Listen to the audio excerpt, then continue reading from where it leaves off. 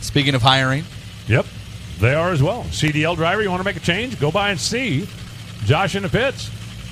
We'd love to chat with you.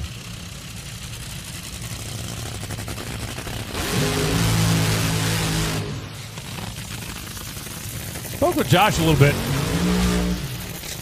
last week, and he honestly believes that they are on the cusp, breaking through for another win.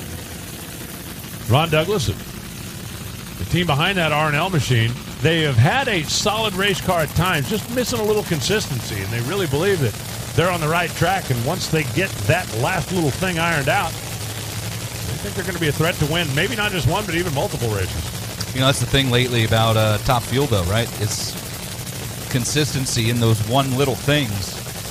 That can really be the difference. When you have a field as tight as our Top Fuel field has really been all year, and you think about, all right, well, Justin Ashley's won a handful of races, right? Justin Ashley's won a handful of races. He's not the points leader. It tells you how tight Top Fuel's been all year. Yeah, it's crazy. Steve Torrence just one win, but he did take over the points lead when he got the trophy out of Seattle a week ago. So Clay Millican, that's the Rick Ware Racing team for DENSO, Parts Plus, and Josh Hart, the R&L Carriers machine. That's looking a little better. How about a 376, 326 miles an hour? Josh Hart goes to the top. Clay Millican goes 379 at 327 miles an hour. Both cars made well, pretty darn close to the same run. Josh a little bit quicker to 60 feet, and he carried that momentum all the way down to the finish line. We'll run down the numbers after we run down and hear from Joe.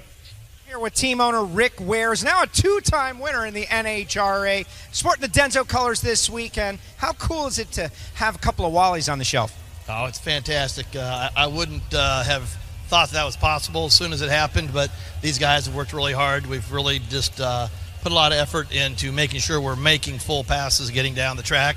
I think that has a lot to do with it.